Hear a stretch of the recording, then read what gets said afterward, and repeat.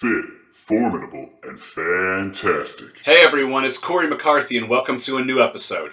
So here we are again with another installment of the best vegan bodybuilding foods. Uh, this is the fourth in the series, in fact. You all seem to be enjoying these, so I'm going to keep them coming. And this one's going to be fucking epic, an informational powerhouse. I am very excited to bring this one to you. This episode covers one of my personal favorites, and I consume a fuckload of this in one form or another. Soy. In fact, I consume so many soy products that I think I deserve a sponsorship from a brand or something. Wildwood. you listening?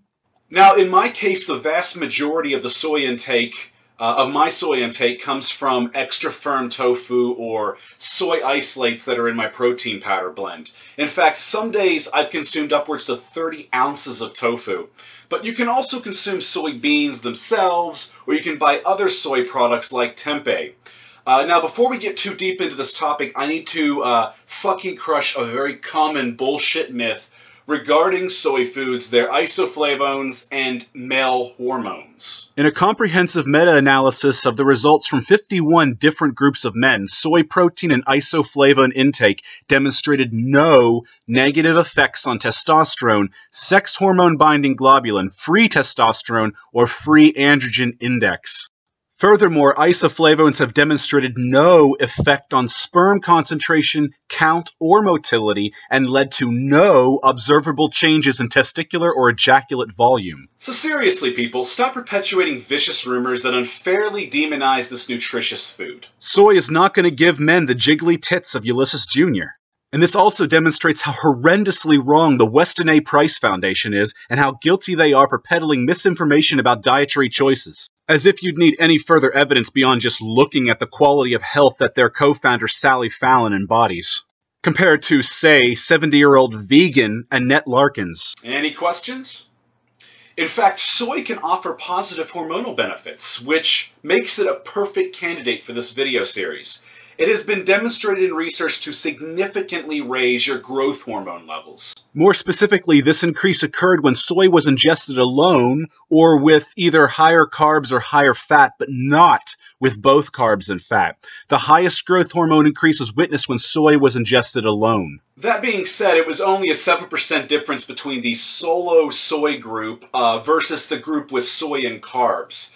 Um, however, when soy was consumed with both carbs and fat, the growth hormone was 40 to 44% lower. And the growth hormone increases are likely due to the arginine content of soy. The takeaway? If you're going to have soy meal um, and you want to reap the growth hormone benefits, consume some soy on its own or have it with either a carby food or a fatty food, but not both. For instance, you could do a meal containing just tofu or tofu and rice or oil sauteed tofu and avocado.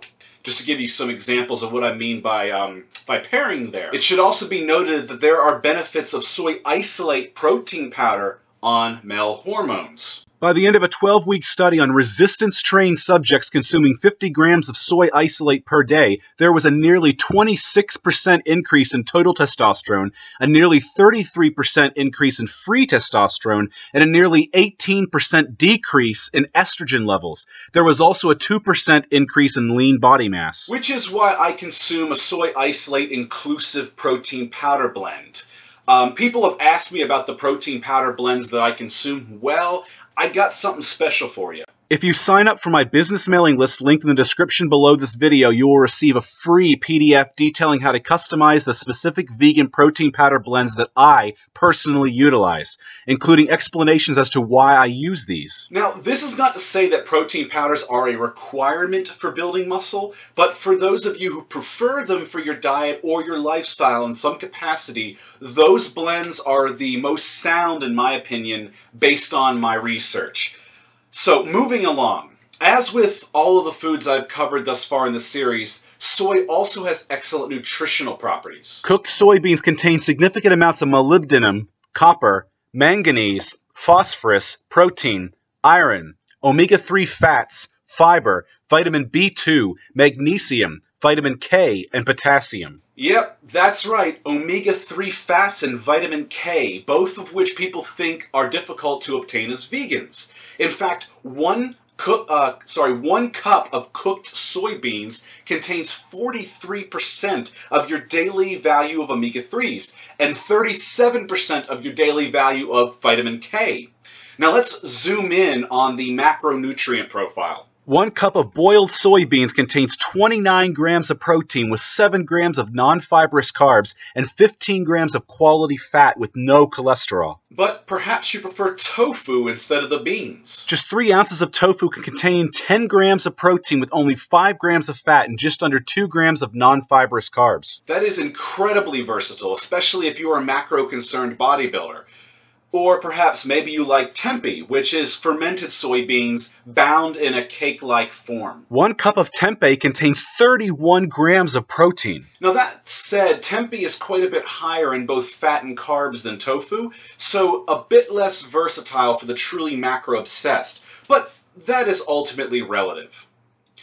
I think it is evident the benefits that soy can provide for those looking to optimize their physique and performance However, there are still two more areas of popular concern to address that involve soy, at least on some level, uh, just to make this episode as comprehensive as possible.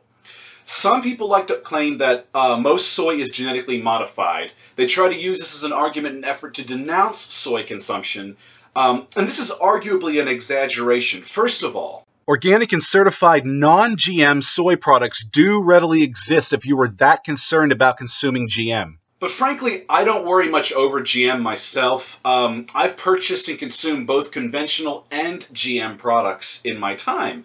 I feel there is a serious degree of fear mongering at play. In fact, GM labeling is a result of consumer demand, not scientific demand. Now, I know I'm going to get some shit for saying this, but GM itself is merely a technology like computers or mobile phones and cars, etc. Technology is not inherently bad or good, but it can be used in such a way that could be perceived as bad or good.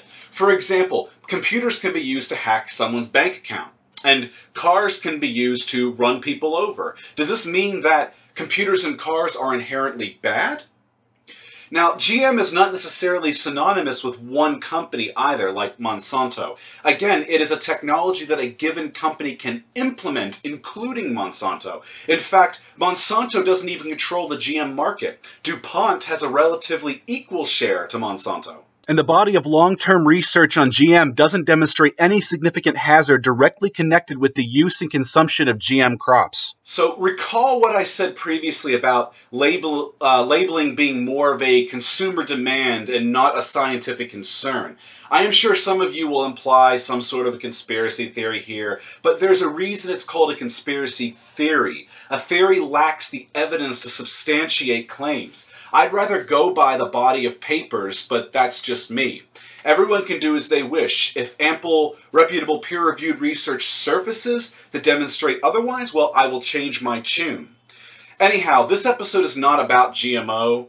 Uh, but it certainly comes up when soy is mentioned, so I felt I needed to touch on it. Uh, moreover, I will link a laundry list of papers and articles for you to browse in the description regarding uh, various aspects of uh, GM if you're interested. And remember, if GM truly concerns you, then simply buy organic. It's that simple. Now, moving along, another often argued point when it comes to soy are the anti-nutrients, as they're called, like the saponins or uh, goitrogens or trypsin inhibitors and phytates. Uh, I will admit, I was once concerned about these as well uh, when I was a relatively new vegan. Uh, first of all, research shows that these so-called anti-nutrients actually may offer benefits. For instance, phytates have been demonstrated to protect against osteoporosis. Phytates have also been shown to reduce calcification and kidney stone formation, lower blood glucose and lipids, as well as potentially fighting cancer. Nonetheless, anti-nutrient content is reduced or eliminated merely by soaking and sprouting, fermenting, or cooking. Ergo, there's not any reason to really worry about the anti-nutrient content of your soy or other foods. Hell, some soy foods like tempeh and natto are fermented in their preparation. And I imagine most of us cook our foods, except for we're all vegans, and I've made it clear in the past that I do not advocate full raw diets. I advocate a mix of raw and cooked where appropriate. So enough is enough with all the fear mongering aiming to demonize soy. Let's put it to rest and instead make some ethical alpha fucking gains with soy. Before I go, I also want to bring attention to my friend's channel, The Golden One. A day ago, he announced a shift in his diet, bringing him one step closer to the glorious veganism. While I plan to do a comprehensive video response about this, I wanted to bring awareness to it um, on my channel, uh, uh, uh, you know, ahead of time, so that my viewers can show their support. As you can imagine, a lot of degenerates are disliking this video and trolling.